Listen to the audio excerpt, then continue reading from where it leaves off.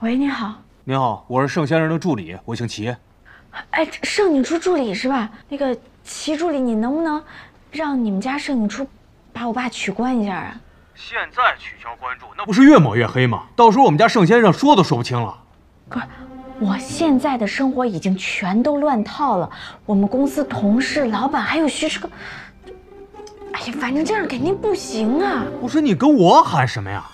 我给你打这通电话就是想告诉你，程亮，请你不要借机炒作。我有什么可炒作的呀？我说的跟我占了多大便宜一样。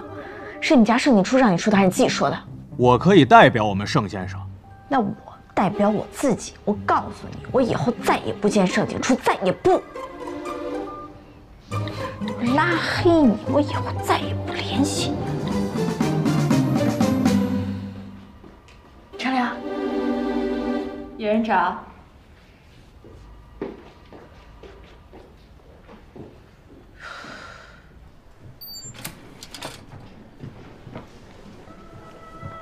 你怎么来了？来找你，不是你让你助理打电话给我的吗？没有，换个人少的地方说吧。我知道一个地方。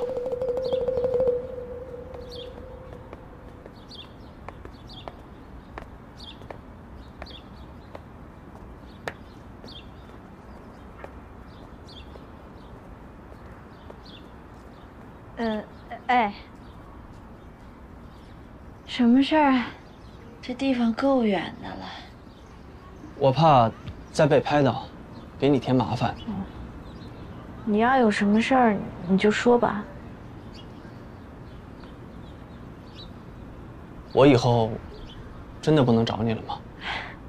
我就那么一说，你别往心里去。你说说，我一个基层小编导，我要还能采访到你，我肯定会特别珍惜的呀。如果小齐说了什么不对的话，我代他向你道歉。哎，没有没有，不用不用不用不用，那个，其实吧，他也是为你好嘛。我也确实是说了一些比较过分的话，不过还是谢谢你，谢谢你让我有了人生中的第一篇采访稿。至于绯闻什么的，哎，就让它随着海风飘走吧。希望这件事不会影响我们成为朋友。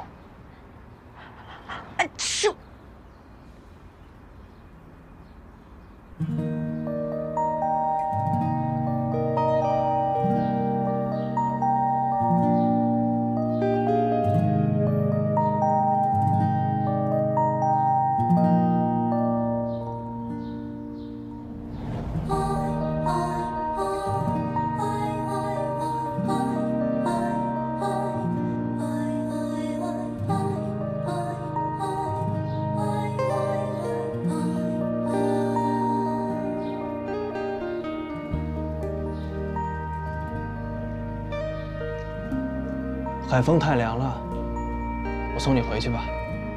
哎，嗯，这么敏感的时候，咱俩还是分开走吧，别玩火了。我先走了，衣服改天我再还你，谢谢。